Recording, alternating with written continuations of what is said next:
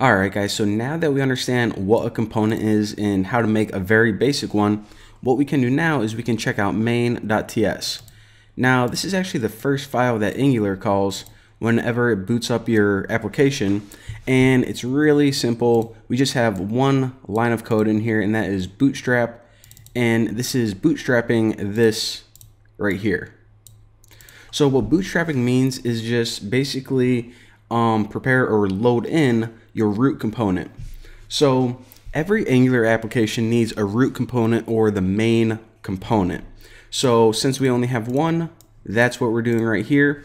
And these right here are just imports. Now, I do want to touch on something real quick, and that is the difference between the way that we import this and this right here.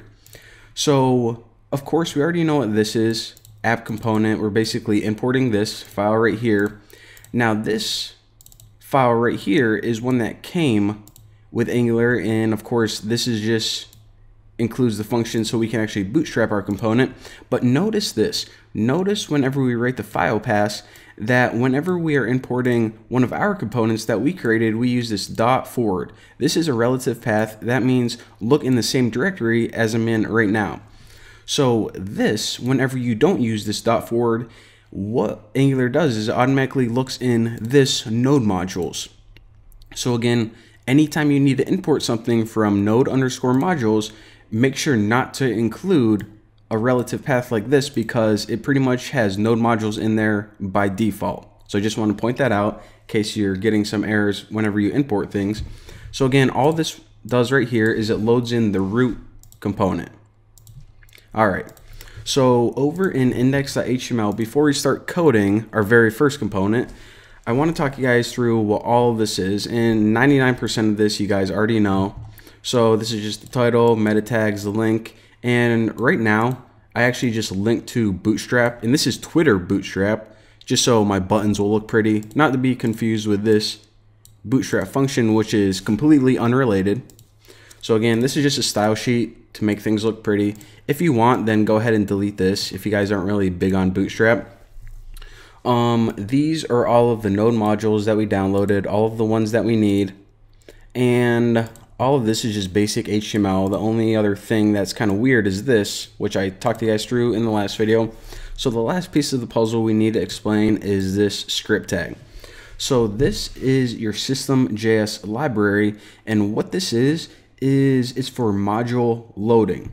In other words, all of the code that we write, it gets included automatically. And that way we don't have to go through and include each of these files and all of the modules that we need one by one. So this system.js, it takes care of all of that behind the scenes by default. And if we ever need to tweak anything, then I'll talk you guys through that, but it's pretty cool. So just to give you guys a real brief overview of this in just to kind of explain what's going on in case you get any bugs or anything, this packages setting right here, this tells System.js what to do whenever it sees a request for a new file. So one important thing right here is the default extension JS. So hop back over in main.ts for a second and notice this. See, whenever we're importing or including other files, we don't write the file extension. So even though that we're including app.component.ts right here, we don't want to write that explicitly. That's because whenever we're using TypeScript, it automatically knows to look with a file with a TS extension.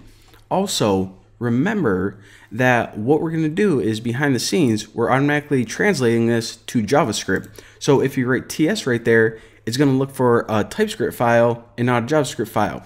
So since this doesn't have any file extension, whenever JavaScript looks for another file, it's going to say, um, yeah, we actually don't even have app.component. This isn't even a JavaScript file.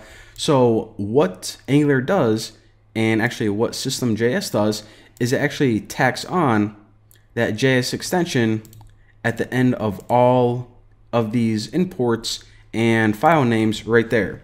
So that way we can write TypeScript and our browser can use JavaScript and we don't have to manually change every single file extension. Pretty awesome, eh?